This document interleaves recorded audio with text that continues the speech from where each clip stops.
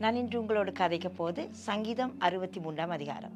சங்கீதம் அறுபத்தி மூன்றாம் அதிகாரத்திலே காண்கிறோம் நாம் பயங்கரம் ஆபத்து மத்தியிலே தேவனை கூப்பிடும் ஒரு சங்கீதமாக இருக்கிறது. நாங்கள் காண்கிறோம் மூன்றாம் வசனம் அந்த இடத்துல ஒரு விசேஷ வசனம் அந்த இடத்துல சொல்லப்படுகிறது ஜீவனை பார்க்கிலும் உமது கிருபை நல்லது.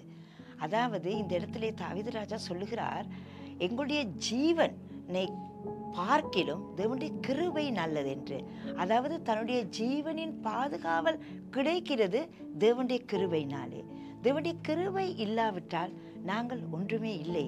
நான் இன்று உங்களுக்கு ஞாபகப்படுத்துகிறேன். நாங்கள் இன்று இந்த இடத்துல நிற்கிறது தேவனுடைய கிருபையே. நாங்கள் அழிந்து போகாமல் இன்று நாங்கள் வாழ்வது தேவனுடைய கிருபை.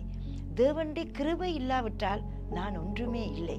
அதனால் உங்களுக்கும் எனக்கும் தேவனுடைய கிருபை இருக்கிறது.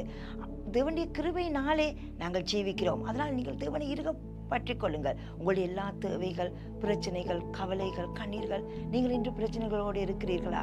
மறந்து விட வேண்டாம். தேவனுடைய கிருவை உங்களுக்கு இருக்கிறது. அதே போல ஏழாம் வசனம் சொல்லுகிறது உமது செட்டை நிழலிலே நான் களி கூறுவேன். தேவனுடைய கிருபையினாலே அவருடைய செட்டையின் கீழே எங்களுக்கு அடைக்கலம் உண்டு.